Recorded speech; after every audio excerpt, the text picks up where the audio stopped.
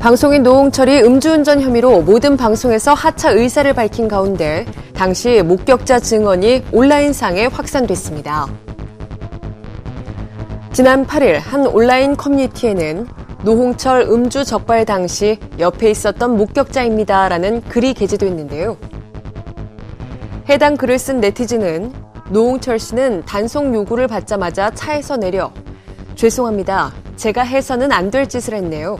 선생님, 저 혹시 체열로 측정하면 안 될까요? 라고 물었다고 당시 상황을 설명했습니다.